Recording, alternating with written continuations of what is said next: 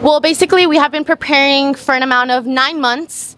And basically, it's been kind of this whole preparation where we get a whole aspect of the competition and what it's going to be like when we actually get there. We have done concentrations online and in person. We actually held one in the beginning of January. And it was so rewarding to see get to put all of this into practice in person with all of us. And we've basically gone over the rules, gone over debating, gone over speeching, all these different tools that we will be needing in order to compete at NHSMUN. Basically, NHSMUN is a competition where students come from all around the world. It's about 8,000 students, and it's actually divided up into two sessions. We are going to be going into the first session, and basically what you do there is you represent a country.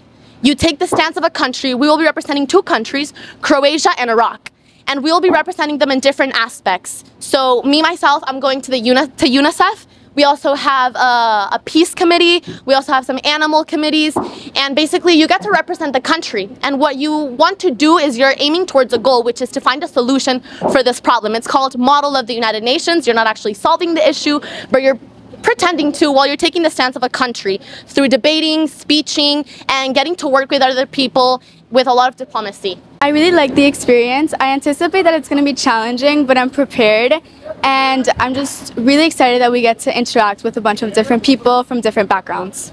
For me, I think it's hearing other countries dance because me and my partner Emete, we got Iraq, which isn't your typical country, so we got to hear about their religion and their beliefs. We're really excited. We also feel very rewarded because we have inspired other schools to start their own delegations. Last year we were the first school or the first delegation to go to this competition and this year there's actually another school going and we just feel proud of ourselves for inspiring other people to take this act because it's something that you're going to remember for the rest of your life. It's so rewarding and so amazing to know what you're going to do and to know that you're going to represent the country in the best way possible while representing your delegation. And of course you're nervous. You're always going to be nervous, but with the preparation that we've been having, we just know that we're going to do the best we can and that we want to win this and we're going to work for it.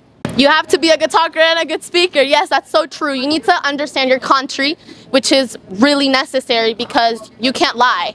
You need to have the stance of your country and you need to understand the content. So you get two topics. Basically, it could be either, for me, it's child abuse or immunization. And you need to understand them fully. You need to know every single little detail and that's going to help you be a good speaker because you're not going to mess up if you know your content. We want to thank our faculties who are going to be watching this and we just, just want to say that this is because of you. We're here and we're going to do the best we can and we're so happy um, that we get to go to New York and experience this amazing thing. So thank you and fingers crossed that we get an award.